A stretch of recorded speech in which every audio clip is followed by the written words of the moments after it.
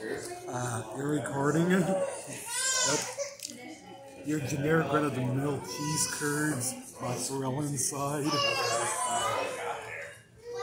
And for the audience, you've got the walleye fingers, right? Yo. Yep, and they look so good. Mm, some walleye fingers.